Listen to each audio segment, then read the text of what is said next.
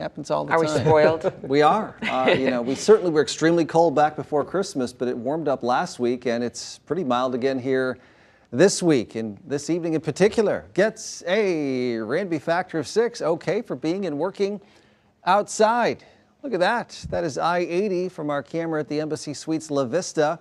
The late day sunshine. We've got 49 degrees. That's the high of the day so far. Six mile per hour breeze. Barely anything.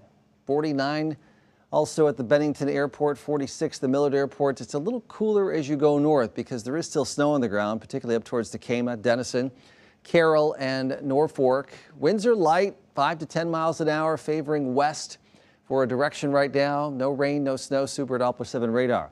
Had some sun, had a few clouds mid-afternoon, and then those clouds a little thicker farther east, Atlantic to Des Moines to Creston to the Quad Cities, but look, clear skies across Nebraska. Boy, Caitlin told you about the atmospheric rivers and another big surge of moisture into California today with the high mountain snow. But as we've seen with a couple of these recent systems, they've been breaking up into pieces and then as they move across the Midwest, not enough time to intensify or pull any moisture out of the Gulf of Mexico. So just one one hundredth of an inch of moisture projected for the next week which might be a tenth of an inch of snow. Maybe a little better chance of seeing a little more down toward uh, Lawrence, Kansas City, Kirksville, Missouri. All right, high pressure starts to work overhead tonight. That means pretty light winds, and it will cool off tomorrow.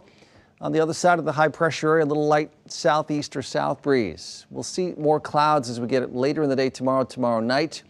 Little disturbance kind of slides by, but probably loses its moisture by the time it gets here. And then we get a northwest wind and probably more clouds in here on Wednesday. That may hold the temperatures down a little bit. And then that west coast system pushes this piece of energy out. But as you can see, looks like it's going to be south of us as we go into later Wednesday, Wednesday night, early Thursday. 24 the low tonight. Clear to partly cloudy skies. Tuesday.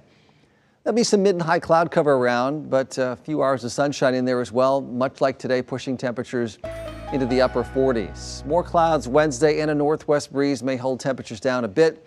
And then uh, let's call it colder on Thursday because it will feel, you know, more like winter. Average high this time of the year is 33. We're projecting 31 there.